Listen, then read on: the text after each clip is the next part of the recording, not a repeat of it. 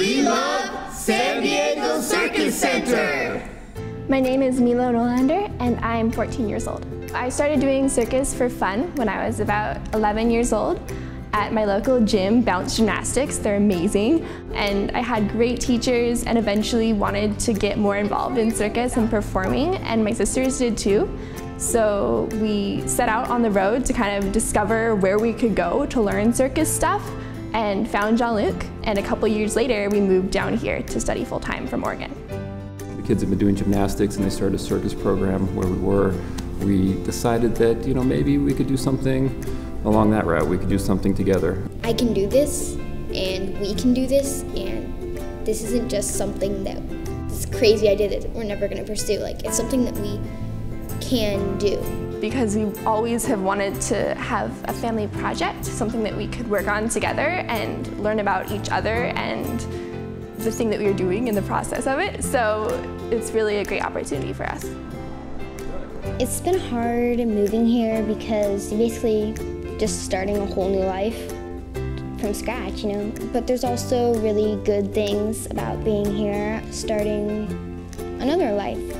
We've lost a lot of social interaction, I think, but um, we've also gained um, other rewarding things. There's sort of this feeling that if our lives are ours, like let's make them our own. So if we don't want to do the normal thing, um, let's just redefine normal for ourselves. I truly hope that we can have a fun act that we can take all around the world and that people who don't speak the same language that we do can still enjoy and relate. Sometimes it gets kind of scary when you get really high up. I kind of want to get into maybe a professional circus like with Mel and my whole family. This is something that we do every day and it's hard, but to other people it looks easy and it's fun, and that's really rewarding.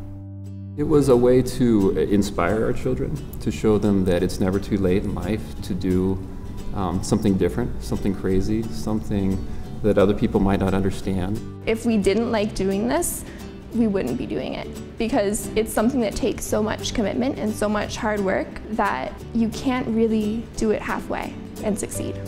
I don't know if I would give anything that I have now because we've worked so hard for it and we're so close to getting that to that point where we've just been wanting to get to for so long, you know, for like five years for me, so. I can't imagine not doing circus. I don't know what I would do.